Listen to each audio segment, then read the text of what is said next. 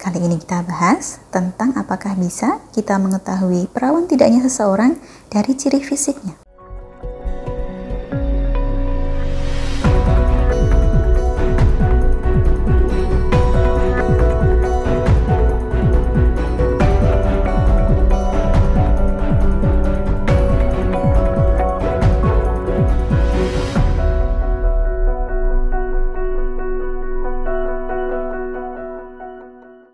Salam Rahayu, kembali lagi dengan saya Dewi Sundari. Apa kabar Anda?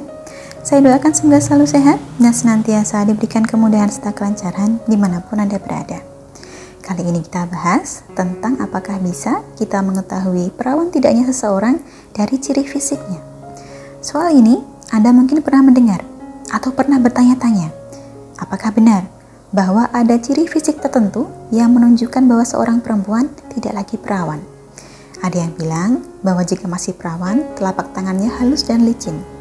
Sedangkan jika sudah tidak perawan, telapak tangannya pucat dan tidak memerah ketika ditekan. Tetapi nyatanya, kondisi telapak tangan ini lebih banyak dipengaruhi oleh kesehatan.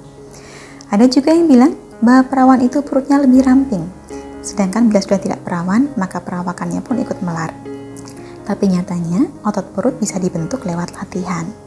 Bahkan pernah saya menjumpai seorang pria yang mengaku bisa mengetahui perawan tidaknya seorang wanita hanya dari melihat bentuk pantat wanita tersebut. Tapi nyatanya, tebakan dia tidak selalu tepat.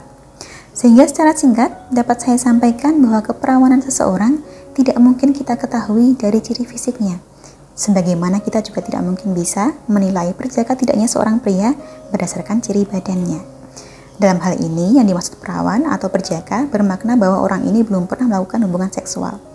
Dulu, kita mengira bahwa semua perawan punya selaput darah, tapi kemudian kita mengetahui bahwa selaput darah dapat rusak atau robek karena pernah jatuh atau beraktivitas berat. Dulu kita juga mengira bahwa perawan akan berdarah saat malam pertama, tapi kemudian kita mendapati bahwa berdarahnya itu karena luka. Jadi ada baiknya kita tidak berupaya untuk menerka ataupun mengira-ngira perawan tidaknya seorang wanita. Bukan hanya hasil perkiraan ini berpotensi tidak akurat, tapi juga melukai perasaan wanita itu sendiri. Pernah suatu ketika saya ditanya oleh seorang pemuda, jika perawan tidaknya tidak bisa kita lihat dari ciri fisik, lantas kita harus bagaimana? Kita tidak ingin salah pilih istri, maunya cari istri yang masih perawan. Sesungguhnya, bila kekhawatiran Anda adalah karena takut salah pilih istri, maka tidak sepatutnya bila menilai seseorang dari ciri fisik saja. Ketika Anda mempertanyakan tentang apakah wanita ini masih perawan, itu tandanya Anda memang belum mengenal wanita ini dengan baik. Maka tidak sebaiknya bila buru-buru dijadikan istri.